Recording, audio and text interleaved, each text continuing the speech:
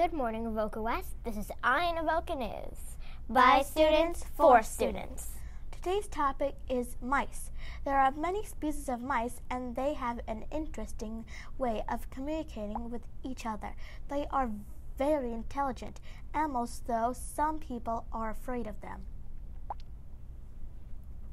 Mice communicate in a variety of ways using their mouths, noses, ears, and bodies. Much of their vocal communication is outside the human hearing range, although you can hear some squeaks in their lower vocal range.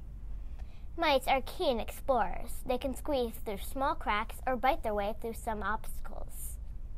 Something that is surprising about mice is that they are incredibly clean. They live in tidy homes. They have specific places for where to store food, use the bathroom, and for shelter. The mice stay really close to their homes. They usually venture only three to eight meters away from their homes to go out and search for food.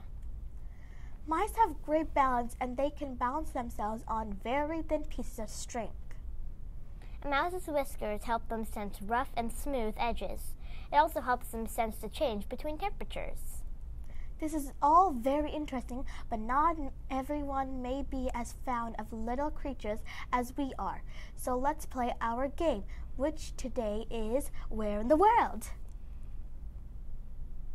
The first clue is that this place is in China. The second clue is that this place is one of the most populated cities in China. The last clue is that this place is the is the capital of China. Have you guessed it yet? If you guessed Beijing, then you're correct. That's all we have time for today. Have, have a brave day, Avoca West.